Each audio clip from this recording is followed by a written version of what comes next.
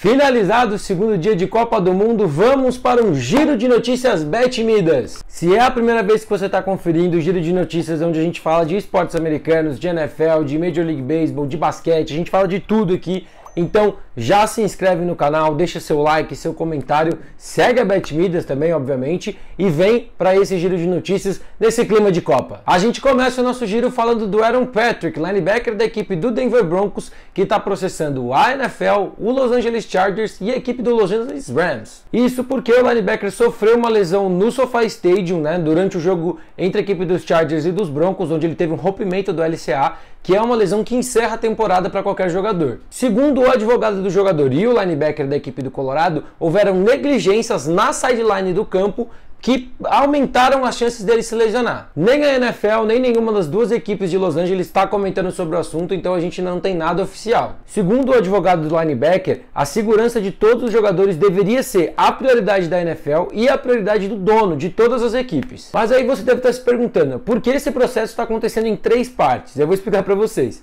Primeiro, porque o SoFi Stadium é estádio da equipe do Los Angeles Rams. Segundo, porque o jogo foi contra a equipe do Los Angeles Chargers, que estava usando o estádio.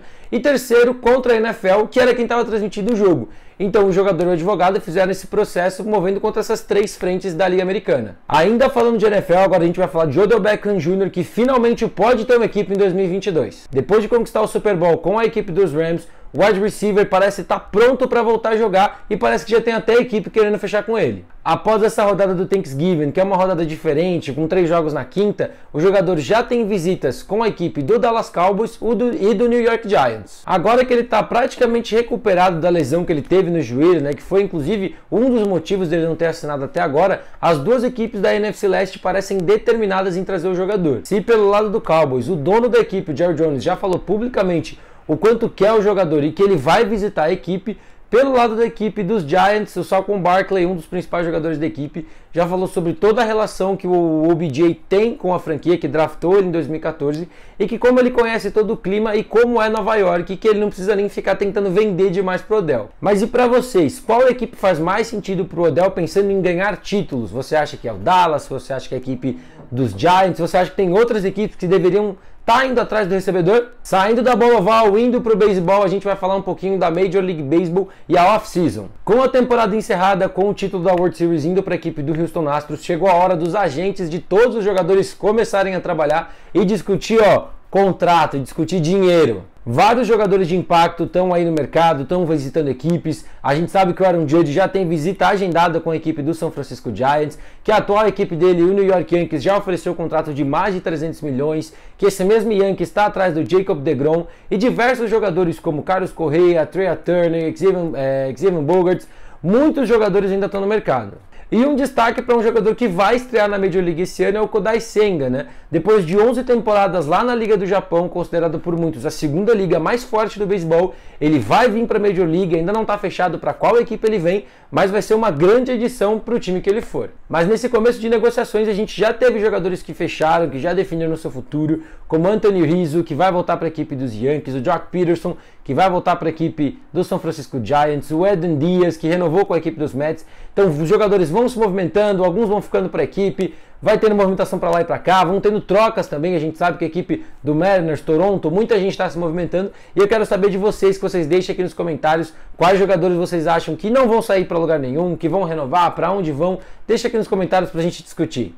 E para fechar o nosso giro de notícias de hoje, agora a gente vai falar da NBA, mais especificamente do Golden State Warriors. A equipe da Califórnia ainda não sabia o que era vencer fora de casa em 2022, mas contou com uma grande atuação de Clay Thompson para quebrar esse jejum de oito derrotas seguidas fora de casa. Foram 10 arremessos de 3 pontos convertidos pelo Clay Thompson, foram 41 pontos totais que ele teve na partida, que foram cruciais para a vitória por 127 a 120 contra a equipe do Houston Rockets. Outro jogador que foi muito importante para essa partida foi o Stephen Curry, né, com mais de 30 pontos, e foi muito importante essa vitória para que o time não igualasse a marca da temporada de 89 e 90, quando o time perdeu os primeiros nove jogos fora de casa. Mas muitos especialistas da NBA estão preocupados com a equipe de Golden State esse ano, tanto pelas derrotas fora de casa, quanto a dificuldade para vencer times que teoricamente não são bons, como essa própria equipe de Houston, né, que é uma das piores equipes da NBA esse ano, e a equipe de Golden State teve que contar com uma atuação mágica de um dos seus principais jogadores. E para você que está acompanhando aqui pelo YouTube, a gente vai falar um pouquinho também da entrevista que o ex-jogador Shaquille O'Neal deu para a revista People. Hoje, comentarista da NBA falou muito sobre sua carreira, vida pessoal e, é claro, ele falou muito sobre Kobe Bryant, a relação que ele teve com o jogador que faleceu em janeiro de 2020. Ele falou sobre como ainda é muito estranho o sentimento de não poder ver nunca mais o Kobe Bryant na vida real e falou sobre como ele, o jogador, eles deveriam ter tentado entrar mais em contato, que as coisas foram ficando pelo caminho e é um dos arrependimentos que ele tem depois da morte do Kobe. Citando o próprio jogador, nós deveríamos ter ligado um para o outro, para sempre é muito tempo. Ele também falou sobre as questões de discussões e todo o clima que tinha quando ele e Kobe estavam jogando junto.